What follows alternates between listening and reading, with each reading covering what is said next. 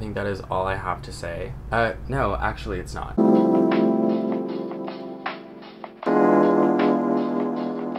Well, we're back. Once again, I am wearing eyelashes that are too big for my face, so you're just gonna have to let them distract you while I tell you my opinions and why they're correct.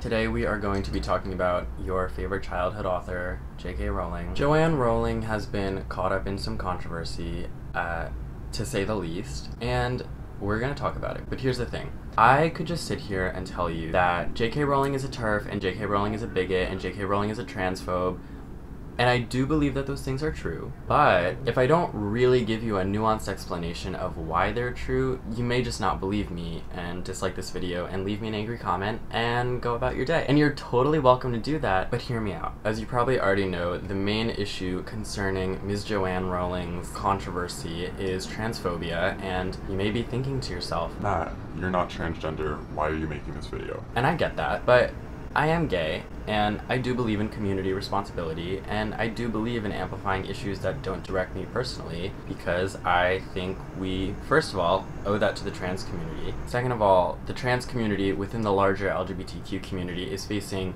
higher rates of mental illness, suicide, and violence right now, so I think it's really important that we talk about the issues that are causing that. Also, as a cis gay man, I think it's important to use my platform to amplify the voices of people I know and love in the trans community, so I will be referencing trans voices throughout this video. I also am obsessed with being right all the time, so in order to really understand what is going on here, I have to give you context, and that means looking at where all of this began. Like every bad thing that has ever happened, it started on Twitter. So, let's read the tweets. Basically, this all started when an article was published titled, Creating a More Equal Post COVID 19 World for People Who Menstruate, which Joanne quote tweeted with, People who menstruate. I'm sure there used to be a word for those people. Someone help me out. Wumpen?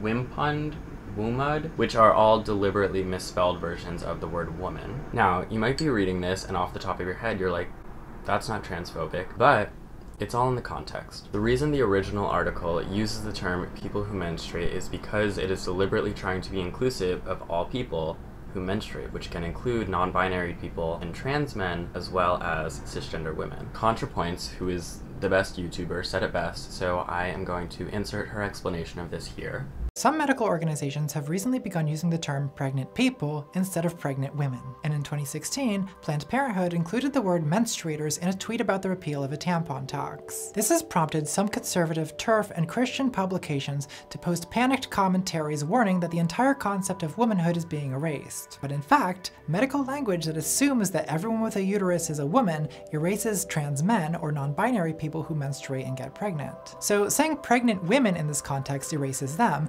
whereas saying pregnant people includes them and cis women and doesn't erase anyone. Now, J.K. Rowling understands this, and she's smart enough to know what she's doing with this tweet. She knows that the original article is using the term people who menstruate to be inclusive of trans people who may not identify as women, but who menstruate. So immediately, Twitter started calling her out, and everyone was like, you're going out of your way to be transphobic. And then all hell broke loose for J.K. Rowling. Her next tweet said, If sex isn't real, there's no same sex attraction. If sex isn't real, the lived reality of women globally is erased. I know and love trans people, but erasing the concept of sex removes the ability of many to meaningfully discuss their lives. It isn't hate to speak the truth. Once again, you may be reading this and you're like, how is that transphobic? She's not saying anything negative about trans people, in theory. She even says, I know and love trans people.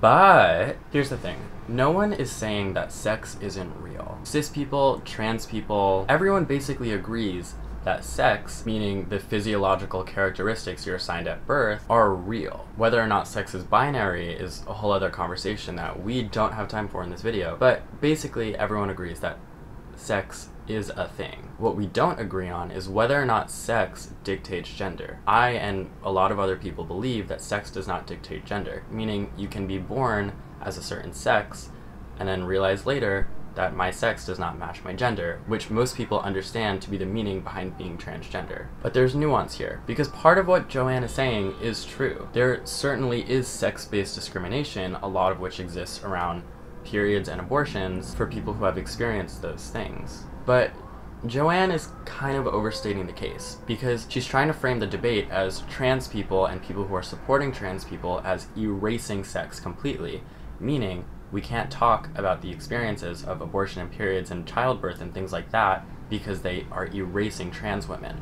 But nobody's really saying that. We can acknowledge the fact that trans women are women who may have different experiences than cis women like Joanne without invalidating the experiences of Joanne and other people who menstruate or give birth to children or have an abortion or anything like that. Joanne says it isn't hate to speak the truth, and that's true. But what Joanne's saying isn't really the truth. The truth is that yes, while people who are, for example, born with vaginas do face issues that are unique to being assigned female at birth, not all women face those issues, and a lot of trans women don't. But also a lot of cis women don't. If womanhood is defined as, for example, having your period, then are women who no longer get periods not women? Are women who have gone through menopause not women? I totally agree that defining what it means to be a woman or a man or any gender is absolutely complicated, but to say what Joanne is saying here, which is that trans women are women, is erasing the concept of womanhood, that seems kind of extreme. Next, the idea that women like me, who've been empathetic to trans people for decades, feeling kinship because they're vulnerable in the same way as women, for example, to male violence,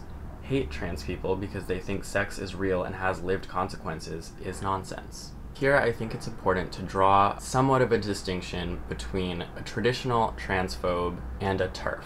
Joanne Rowling is what many people, including myself, would describe as a TERF, which stands for trans exclusionary radical feminists. And basically, these are people who consider themselves feminists, they agree with a lot of basic feminist principles, but who basically exclude trans women from issues that women face and don't consider trans women to be part of the movement that feminism should be helping. I think when a lot of people think about transphobia, they think about really bigoted, old fashioned people who just absolutely hate trans people, think they're gross, think they're not real, think they're disgusting, Whereas people like Joanne agree that trans people exist and will use language that makes it seem like they support trans people, when in reality, a lot of the feelings that both of these groups have towards trans people are the same. So while it may be true that Joanne has felt kinship towards lots of trans people and the trans community even during her lifetime, doesn't really change the fact that she's pushing a hateful and harmful and dangerous narrative upon trans people. Next, I respect every trans person's right to live any way that feels authentic and comfortable to them. I'd march with you if you were discriminated against on the basis of being trans.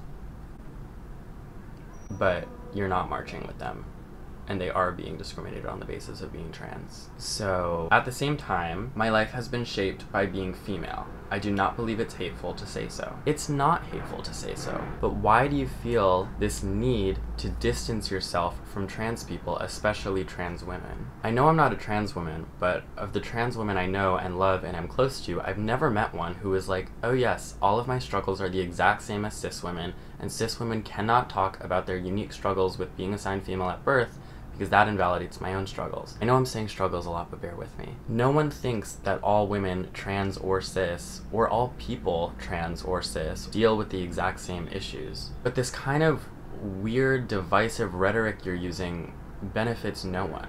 Like I said, you have every right to talk about the issues that affect you personally as a woman, Joanne, without saying that people who haven't experienced issues in that same way are not women. You know, J.K. Rowling is really smart. She's basically taking the things that she's saying and the things that she's implying that are hateful, watering them down into statements that are so vague that you can't really argue with them, and then saying, how is this hateful?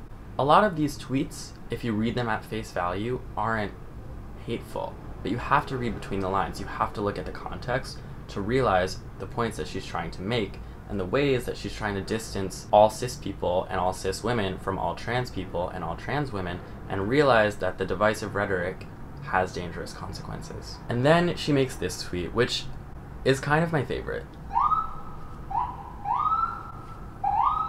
She quotes an article from a website called The Velvet Chronicle titled Anonymous Letter from a Terrified Lesbian. And Joanne quotes I've never felt as shouted down, ignored, and targeted as a lesbian within our supposed GLBT community as I have over the past couple of years. So now Joanne's crusade against trans people has gone beyond her own concerns of womanhood being erased, and now she is uh, white knighting for cisgender lesbians and other cisgender queer women who apparently are terrified of the trans movement. I'm kind of doubting Joanne's actual investment in the safety and security of lesbians because maybe if she was so invested in the lesbian community, she could have included one lesbian character in the seven Harry Potter books she wrote. I don't think the actual cause that she's fighting for here is for gays. I think she's picking a random article that she found uh, from a gay person who wanted to disconnect themselves from trans people and is using this to make her point that trans people are not good. So while J.K. Rowling is tweeting all of these things, uh, a lot of Twitter is not having it. Paris Lees, who is a trans woman, wrote, There's just no evidence that me being me is causing problems for any of the other women I've met. If there are ever any problems between women and trans women, they should be dealt with sensitively and sensibly on a case by case basis. Please, for the love of God, leave us alone. And there were a lot of articles that were written in the mainstream press is J.K. Rowling transphobic? And YouTube videos made and Instagram posts made, including one by yours truly. And then J.K. Rowling came out with this an approximately 3,000 word essay, which she titled TERF Wars, about why exactly she is a transphobe. I'm gonna save you the time of reading this entire essay, uh, not because I'm avoiding giving you the full truth of what she's saying, but because we just literally don't have time. I'll link it down below if you want to read the whole thing. I'm just gonna read you some excerpts that I found particularly uh, captivating. Let's get out my notes. The writings of young trans men reveal a group of notably sensitive and clever people. The more of their accounts of gender dysphoria I've read, with their insightful descriptions of anxiety, dissociation, eating disorders, self harm, and, and self hatred, the more I've wondered whether, if I'd been born 30 years later, I too might have tried to transition. The allure of escaping womanhood would have been huge. I struggled with severe OCD as a teenager. If I'd found community and sympathy online that I couldn't find in my immediate environment, I believe I could have been persuaded to turn myself into the son my father openly said he'd have preferred. Ooh, uh, Basically, in this part of the essay, Joanne is talking about how she thinks coming out as transgender and starting to transition is a trend. And the point she's making is that maybe if she'd been born later into today's age of wildly leftist Gen Z kids who are obsessed with transitioning at whatever cost, maybe she would have transitioned to become a man too. And she's also implying that a lot of the trans men she's reading about online, she perceives as having only transitioned to escape womanhood. Here's the thing though, a lot of people don't love the social constructs of the gender that they're born in. Like, for example, I was born a man, and while I still identify as a man, I've really struggled to be comfortable in manhood and the idea that I'm a man. Patriarchy and the gender binary and gender roles aren't just oppressive for women. Of course, they're oppressive for women in a lot of very serious ways, but for men like me who don't really fit the masculine ideal of manhood, it kind of sucks. But most of us don't abandon our gender just because we don't love it. Being transgender is a much more profound identity struggle than that. And for Joanne to say that maybe she would have escaped womanhood because she struggled with OCD, I think is really demeaning to actual trans people who oftentimes risk a lot to transition and live in their authentic truth. And perhaps the reason more people are transitioning now than before is because it is becoming more accepted. Not because people are bored and don't know what to do, so they transition. What? But as many women have said before me, woman is not a costume. Woman is not an idea in a man's head. Woman is not a pink brain, a liking for Jimmy Choo's, or any of the other sexist ideas now somehow touted as progressive. Moreover, the inclusive language that calls female people menstruators and people with vulvas strikes many women as dehumanizing and demeaning.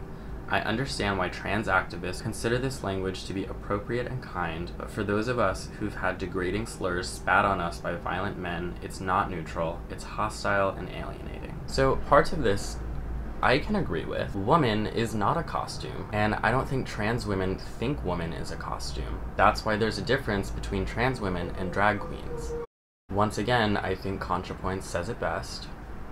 My clothes, makeup, voice, none of this makes me a woman. No trans woman thinks that femininity and womanhood are the same. Rather, we're using a cultural language of feminine signifiers to prompt others to see us for what we are. Sometimes I get the impression that my cis girlfriends don't really understand why I'm presenting in such a meticulously feminine way. Like, they think I'm wearing ombre lips at 11 a.m. because I'm playing some kind of clout game, which I am, but also, if one person calls me sir, that's gonna ruin my day. So I'm desperately throwing glitter spaghetti at the wall in hopes the light catches some glimmer of womanhood. And when it comes to using inclusive medical language, how exactly is that demeaning and oppressive?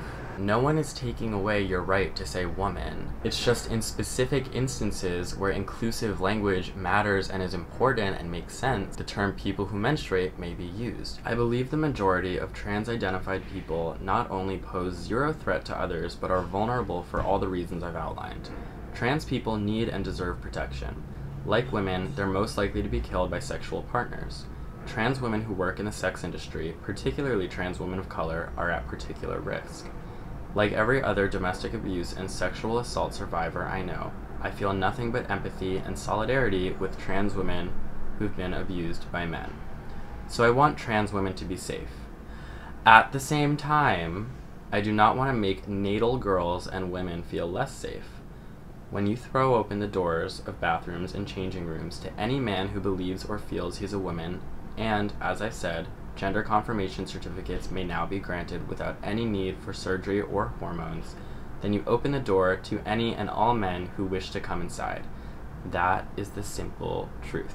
I just have to say, when it comes to people being like, I love and support and respect trans people, but never a good sign. Like, you say you want trans women to be safe, but then you write a 3,000 word essay which perpetuates ideas that are literally causing the harm. So. And like, you're really almost there too. Like she says, trans women who work in the sex industry, particularly trans women of color, are at particular risk. And that's absolutely true. She's so close to actually using her platform to legitimately protect this very marginalized group. And here's the thing on the bathroom debate. I live in New York City where we're like really progressive, we're really with it. It's pretty much unspoken here that in any public facility, whether it be schools or restaurants or public bathrooms, that you can use the restroom of the gender that you identify with. In fact, in my school, there are signs on the bathroom doors that say, please use the restroom of the gender that you identify with and a growing amount of places have gender neutral restrooms, so there's also that. This is all to say that a lot of places in New York have made a conscious push to make trans people more comfortable when it comes to the bathroom issue. And there's been no notable spike of sexual harassment cases involving trans people using the bathroom they most identify with. Like, it's just not a thing in practice. We're already there. We're already letting trans people use the correct bathroom. And this myth that suddenly it's gonna open the floodgates for men who just want to identify as women so that they can assault other women in the bathroom. Like, it's just not happening. That's not a real thing. And I'm not saying that it can't happen, and there absolutely may be some horrible, deranged predator out there who would use the situation to satisfy his own awful intentions. But really, people like that who are predators are gonna be predators regardless of whether the law allows transgender people to use the correct bathroom or not. I don't really think that's where that type of person is drawing the line. So excluding trans people from using the correct bathroom I don't really think it's stopping predatory behavior. I just think it's making the lives of trans people much harder. And then there's the book. Okay, you want to talk about the book? Let's talk about the book. Earlier this week, the LGBTQ news website Pink News reported that J.K. Rowling's latest book is about a murderous cis man who dresses as a woman to kill his victims. A new book penned by J.K. Rowling finds her private detective protagonist, Cormoran Strike, investigating a cis male serial killer who dresses as a woman to kill his cis female victims, according to an early write up. Pause. I know that once again you may be thinking, How is that transphobic? It actually sounds like perhaps a potentially interesting storyline for a novel. But again, look at it in the context. What is the narrative that J.K. Rowling has spent now quite a while trying to push about trans people? We know that Joanne thinks that at least a good number of trans women are actually just men in dresses trying to be predators. What may that tell you about the actual intentions of this book? According to an early review in The Telegraph, Troubled Blood, the fifth installment in Rowling's Cormoran Strikes series, written under the pen name Robert Gal- Galbraith, Galbraith, Galbraith, whatever, deals with the cold case of a woman who disappeared in 1974 and is believed to be the victim of Dennis Creed, a quote, transvestite serial killer. Transvestite is considered an outdated and derogatory term for cross dressing, which is not the same as being trans. The review goes on to say, one wonders what critics of Rowling's stance on trans issues will make of a book whose moral seems to be never trust a man in a dress. Now, I posted about the whole book situation on my Instagram, and some people who were quick to defend Joanne were commenting that the book is notably about a cisgendered man. So maybe it is me who is falsely making the connection and saying that I think a transgender woman is just a cis man in a dress.